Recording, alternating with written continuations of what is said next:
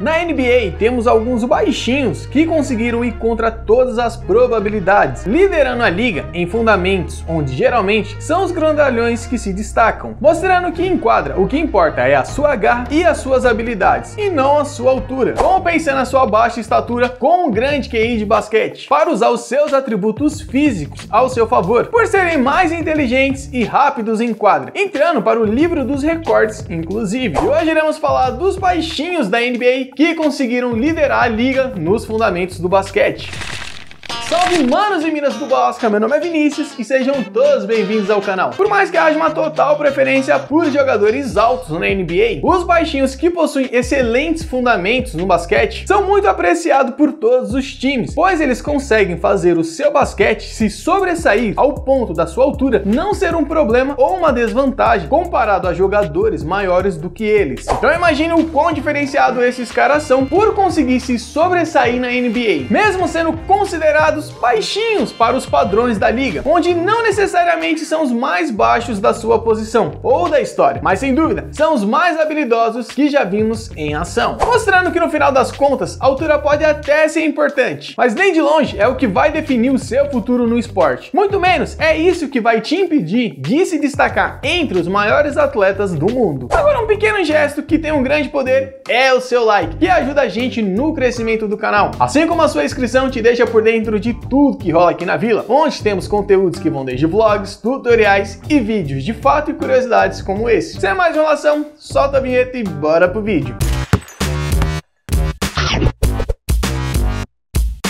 Allen Iverson, o baixinho pontuador. Ele que é amplamente conhecido pelos seus dribles e que foi o terror dos seus defensores por fazer dos seus crossovers uma obra de arte. Allen Iverson, desde o high school, já se destacava no basquete, mas quase não entrou na NBA. E o motivo disso não foi por conta da sua altura, e sim por um problema com a justiça americana, em um caso bem polêmico, onde por muito pouco não deu fim à carreira de um dos maiores atletas que já vimos. E após passar por todo esse pesadelo, conseguiu realizar o sonho de ingressar na NBA, inclusive sendo a primeira escolha do draft de 96 pelo Philadelphia 76ers, se tornando uma das poucas primeiras escolhas com menos de 1,90m. E o armador de apenas 1,83m de altura já chegou na liga mostrando que era um cestinha nada, tanto que na sua primeira temporada tinha as impressionantes médias de 23 pontos por partida, onde era capaz de pontuar em cima de qualquer um que tivesse a missão de marcá-lo, mesmo que fosse um renomado defensor. Iverson has Jordan. The crowd is into it. Allen shakes free. Gets e graças ao seu ball handle, que lhe permitia fazer jogadas incríveis, fez com que o baixinho liderasse a liga por quatro temporadas, onde temos que ressaltar que dessas três, ele teve médias acima de 30 pontos por partida, um feito realmente surpreendente. Ainda mais quando paramos para pensar que na maioria das vezes, ele era um dos jogadores mais baixos em quadra, mas conseguiu achar uma forma de usar a sua velocidade e controle de bola para tirar vantagem de marcadores mais altos do que ele, escrevendo seu nome na história por ser um dos jogadores mais indefensáveis que a liga já viu.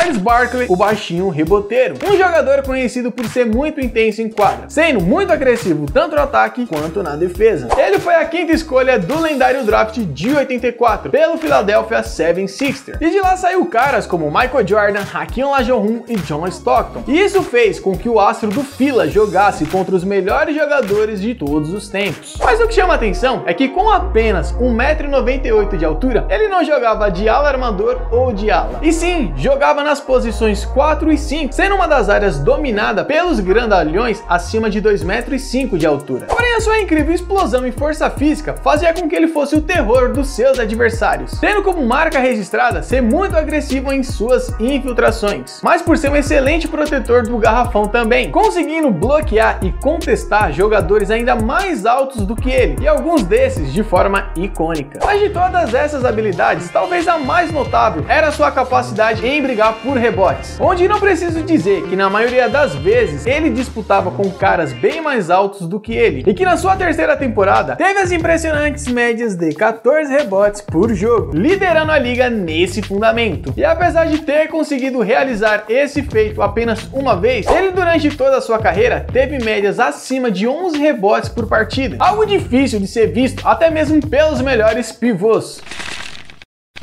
Paul, o baixinho garçom. Ele que possui os conceitos clássicos da posição de armador, sempre priorizando fazer bons passes para os seus companheiros de time. Ele foi a quarta escolha do draft de 2005 pelo atual New Orleans Pelicans e desde as suas primeiras temporadas já encantava a liga com as suas jogadas plásticas e inteligentes. O armador de 1,83m possui uma leitura de jogo como poucos e que aliado ao seu incrível controle de bola fez disso uma das suas marcas registradas por todas as franquias por onde passou e algumas são de tirar o fôlego.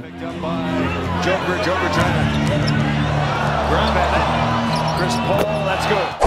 Mais chama atenção é que nas suas 16 temporadas ele mantém médias aí de 9 assistências por jogo, algo cada vez mais raro entre os armadores da atualidade, e conseguiu até o momento liderar a liga quatro vezes nesse fundamento, sendo duas vezes pelo New Orleans Pelicans e duas vezes pelo Clippers, onde em ambas ocasiões liderou por duas temporadas seguidas, sendo atualmente o quinto jogador com o maior número de assistências na história da NBA. Um clube bem seleto que conta com caras como John Stockton, Steve Nash e Jason Kidd.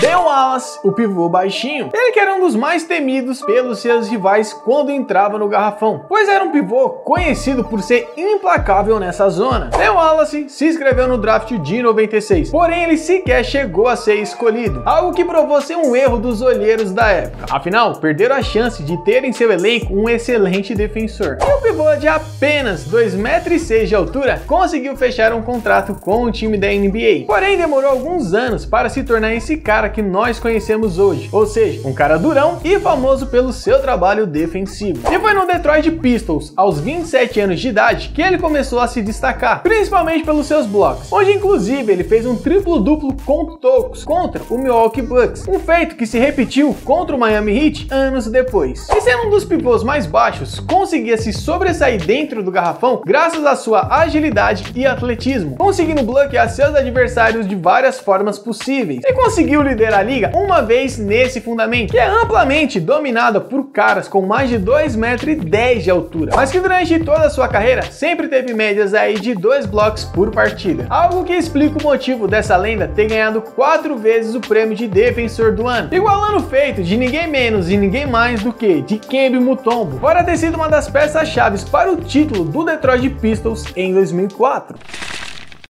Chris Paul, o batedor de carteira. Um jogador que, como vimos, é muito versátil e inteligente e usa o seu QI de basquete não só no ataque, mas na defesa também. Quando falamos que ele é um armador de elite, não estamos brincando. Afinal, são poucos que conseguem ser tão complexos, tanto no ataque quanto na defesa, principalmente os mais baixinhos, que conseguem com maestria antecipar e prever as jogadas e linha de passe dos seus adversários, conseguindo interceptar e fazer belos roubos de bola. Algo que simplesmente o torna jogador que mais liderou a liga em roubos de bola, somando a total seis vezes até o momento. E esse aí não é apenas entre os mais baixinhos, e sim os de todas as alturas, sendo também um jogador em atividade com o maior número de bolas roubadas, e o quinto no ranking geral da NBA, algo no mínimo surpreendente, já que nessa lista tem caras como John Stockton, Michael Jordan e Gary Payton.